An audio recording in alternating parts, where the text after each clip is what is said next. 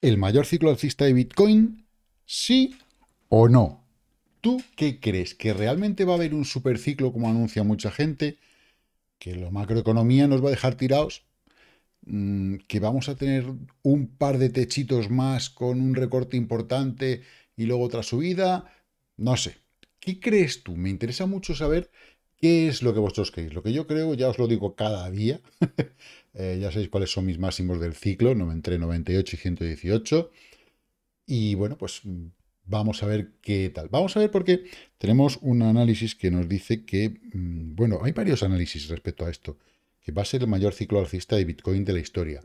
Y también vamos a ver una métrica que nos dice que Bitcoin puede estar tocando suelo y que puede rondar la zona de 48-45, la zona que llevamos cantando bastante tiempo. En fin, la realidad, lo que va a ser en realidad, no lo sabe nadie, simplemente son predicciones en base a unos porcentajes de probabilidad. Y esta es la realidad.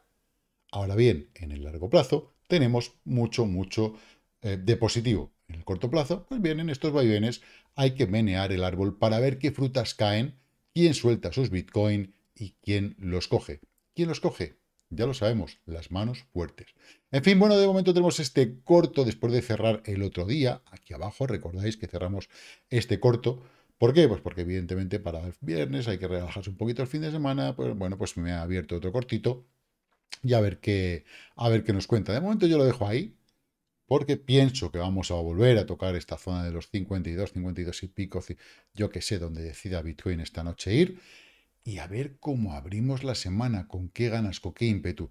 Vamos a ver lo que estamos haciendo ahora eh, en la gráfica de Bitcoin, pero antes vamos a ver primero, por un lado, ¿vale? Que eh, Michael Van Pope, Van de Pope, Van de Michael Van de dice que, bueno, pues que se esperan algunas correcciones lógicas, como las que esperamos todos, pero que el, el pronóstico que hay sobre el ciclo de Bitcoin es hiperalcista y que mm, habla del mayor ciclo alcista que puede tener Bitcoin en toda su historia.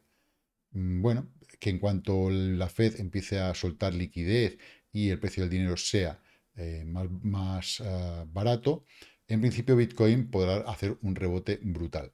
Bien, tenemos un indicador que es el precio, bueno, que son los huchos, no el precio, sino los huchos que están en beneficio. Em, esos huchos que realmente tienen un beneficio ha disminuido mucho, hay muy poquitos, estamos en mínimos, ¿vale? Eh, desde octubre del 23, en mínimos de huchos en beneficio, con lo cual normalmente esta métrica suele marcar unos suelos de, eh, de precio de Bitcoin. Es lo que suele hacer. Entonces, eh, nos lo dice bien claro, ¿no? Los datos históricos nos muestran que en proporción de huchos de Bitcoin en beneficio en su nivel actual podría ser una señal de fondo de mercado. La última vez que los huchos de Bitcoin en beneficio cayeron a 68,5%, el precio de Bitcoin subió un 175% de 26.700 dólares a 73.737. Evidentemente, lo que nos dice bien claro, ¿no? Como siempre, no hay garantía de que haya una recuperación desde el punto actual a igual, que sea similar, ¿no? Pero eh, bueno, pues la temporalidad del ciclo, hay una serie de cosas que nos van diciendo que nos acercamos a ese momento en el cual se producirá un rebote muy, muy potente eh, y que, bueno, pues ya dejará alguno pues con, como, nos, suele pasar, que nos quedamos abobados. En fin, eh, lo que sí que deseo es que ese momento lo puedas aprovechar. Bueno, vamos al mercado que nos dice, por cierto, mañana, mm, ojo importante a las mineras, ¿vale? Vamos a ver un buen un buen repaso a las mineras. Yo sé que muchos de vosotros eh, lo que estáis es diversificando fuera del de, mercado cripto, tal cual, en acciones y en acciones de mineras, mm, cosas que tienen que ver con, con Bitcoin. Eh, creo que es una buena inversión, creo que es una muy buena inversión. Eh, que puede dar, pues como siempre, ¿no? sus más y sus menos, pero también muy buenos beneficios que han estado dando y que seguirán dando en cada momento. Bueno, pues mañana le echaremos un buen ojo. Bien, aprovecho para deciros y recordaros, a partir de mañana, a partir de mañana se empiezan a abrir las plazas para el curso de, formación en trading.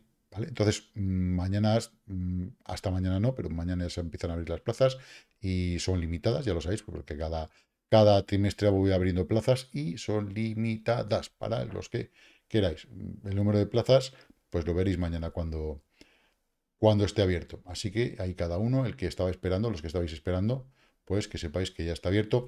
Por otra parte, también está abierto el copy trading, cualquiera que esté, mm, el club privado, ¿vale? El club privado, cualquiera que quiera acudir a él, que me mande un email, tenéis aquí debajo el email de contacto y os mando las instrucciones. Uh, Peca, de momento el UST mm, vuelve a estar en el mismo sitio más o menos que ayer, no ha variado mucho, vamos a ver cómo hoy puede cambiar o no, ha estado a lo largo del día cayendo, ahora parece que tiene un poquito de recuperación. Eh, ¿Esto que produce? Pues que Bitcoin eh, retroceda, retroceda como es normal, lo que esperamos que retroceda a esta zona de mínimos. ¿Por qué? Pues porque los futuros del CME cerraron ahí por debajo de 53, ¿vale? Entonces, como cerraron por debajo de 53 y nosotros nos encontramos por encima de 54, lo que nos toca es retroceder hasta ese punto y, bueno, pues que no haya gap, o no sé, yo creo que el gap se va a cerrar esta noche. ¿Por qué?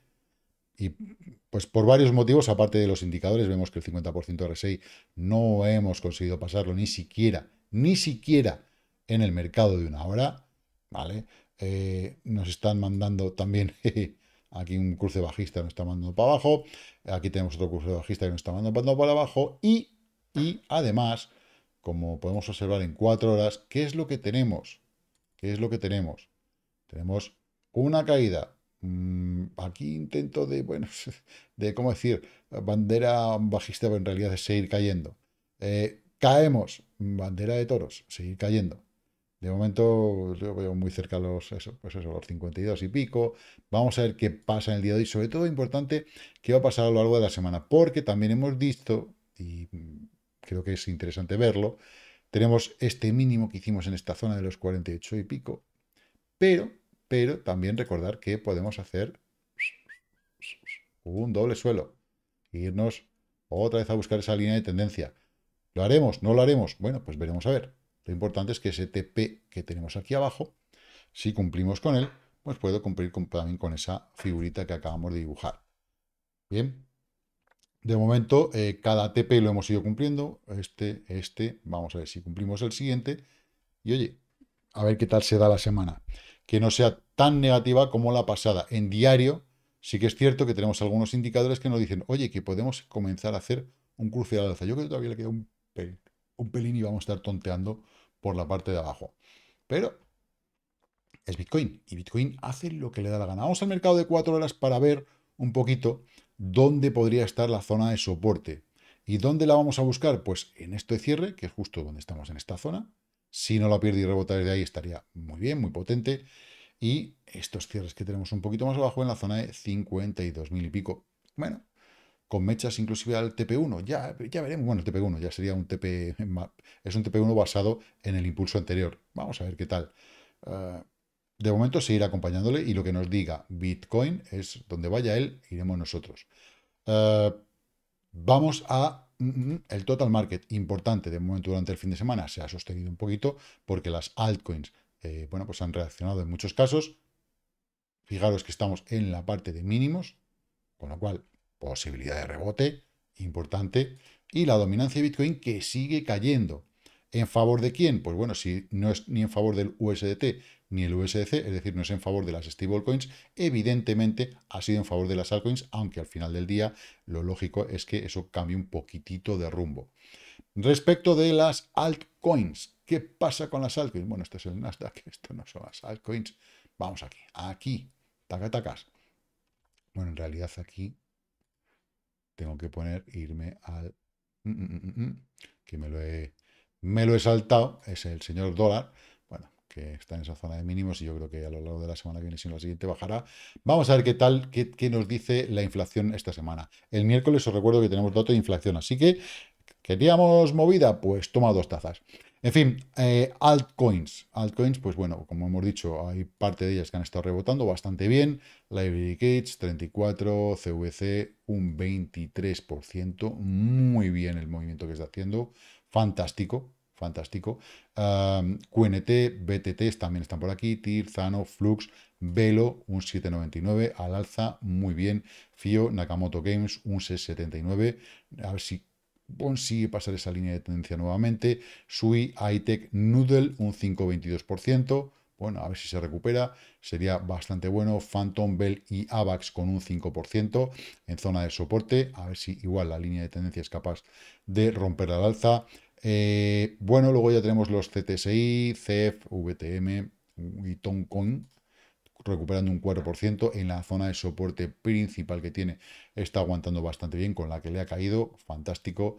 Eh, y luego tenemos ya por debajo DAG, DAG FXS, HOT, Kusama, ACH, eh, Algorand, Cardano contra el euro y por aquí debajo estará contra el USDT también, un 2,86 al alza, zona de rebote, a ver igual, ¿no? Lo he dicho, a ver si es capaz de romper líneas de tendencia interesantes, que sería lo suyo, Melos también aguantando un poquito el tirón, y por la parte más negativa tenemos, que no son muchas, de momento está bien, eh, Neblio, los cortos de Bitcoin, que caen un poquitito, no son capaces de romper una zona eh, de presión bajista importante, HDX, TLM, Hard, DB, Lineware y Polis con el USDT, que están en un 3,25%, es decir, que ya estamos en pérdidas eh, que no, van a ningún, a ningún lado.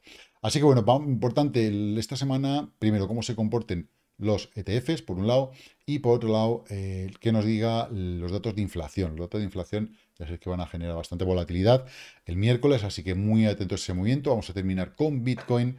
Vamos a ver cómo abren los futuros del CMA, abrirán dentro de un rato, así que atentos a esa apertura y vamos a irnos a una hora, al mercado de una hora, porque bueno, vemos que durante el fin de semana, aparte de esta recuperación, hemos estado en la zona de este TP dando vueltas, tonteando, tonteando, tonteando. Lo normal eh, es que caigamos otra vez a esa zona de mínimos, a que no haya gap, a que dejar ese gap cerrado. Eh, y bueno, aquí tenemos una figurita que se puede dar uno, dos y tres, tres soldaditos y que la siguiente hora haga boom y se vaya para arriba. Podría ser, ¿vale? Podría ser, pero bueno, ya lo ha intentado un par de veces a lo largo del fin de semana y tampoco es que haya podido, aunque sí que hizo una de ellas. No es que sea una figura pura y dura, pero ya vimos como aquí hicimos uno, bajamos tres y luego nos fuimos otra vez para arriba. Pero bueno, es algo muy relativo porque es una hora, es un mercado de una hora que tampoco es muy importante, importante a partir de cuatro y tampoco se está sosteniendo. Veis que esta vela de cuatro horas no ha sido capaz de mm, ir a por ella.